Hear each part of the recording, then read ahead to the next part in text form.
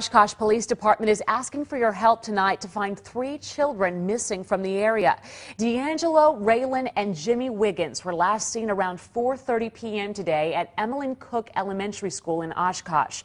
The children may be with their biological mother, 32-year-old Jessica Costanzo, who has ties to Appleton, Oshkosh, Nakusa, and Wisconsin Rapids. Anyone with information on them is asked to call police.